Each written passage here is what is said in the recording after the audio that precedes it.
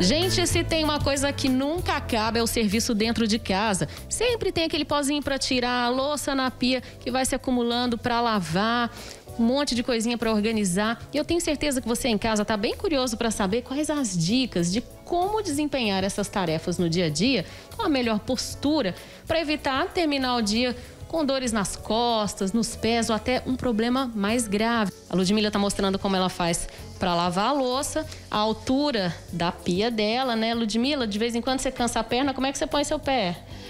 Mostra aí, mostra aí. Aí.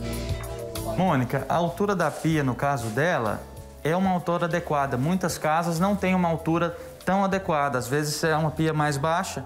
Aqui, para minha altura, ela talvez não esteja perfeita, mas para ela fica super bem encaixada. Ela deu aquela apoiadinha na perna Isso. ali, muita gente faz. Isso aí ajuda? Não ajuda? Muitas pessoas não vão ter o mesmo equilíbrio que ela para fazer e aquilo, é, a posição às vezes fica um pouco mais alta. Isso é uma tentativa de achar um conforto a coluna ela consegue o conforto com a mudança de movimento. E é isso que a gente vai tentar trazer para cá. Então, nessa primeira postura em que ela fica lavando a louça, geralmente ela faz muita flexão, ela inclina muito o tronco, principalmente se for uma pia mais baixa. Então, nessa inclinação, por muito, por muito tempo, por longos períodos, a gente pode começar a sentir dor nessa região que a incomoda, que é a região da coluna lombar. Tanto para enxugar e fazer outras terapias. Mesmo nessa situação onde ela apoia o pé, não é o mais ideal porque é muito alto onde ela se apoia. A gente tenta utilizar um outro recurso que aí é, poderia ser. É, a gente vai utilizar o exemplo de um tijolo. Mas uma... pode ser um, um, banquinho baixinho, esses que a gente usa para as crianças poderia em casa. Poderia ser um banquinho, poderia ser uma, uma, uma escadinha de dois degraus pisando no primeiro, simplesmente para ficar trazendo essa mudança de posição.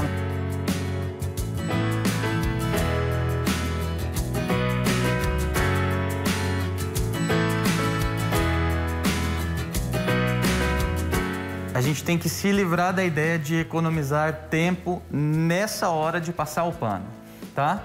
Então, obviamente, a gente já vai usar um balde bem mais leve, né? Pode ser menor, pode estar mais um vazio. balde menor, isso.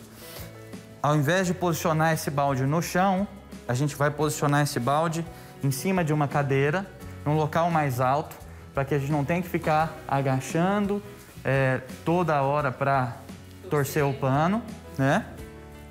É ideal que a gente tenha cabos mais longos, tem cabos com extensores, encontra geralmente em locais de limpeza industrial, lojas de material de limpeza industrial, ou o próprio esfregão articulado, que tem cabos extensores e já não tem o problema de ter que torcer o pano. Então são soluções inteligentes, né? E são fáceis essas adaptações? O que, que você achou? É possível a gente mudar isso em casa? São super possíveis. Sim, vai dar um pouco de trabalho até adaptar, né? Lógico, qualquer adaptação dá, tem uma dificuldade, mas eu acho que vai ser fácil.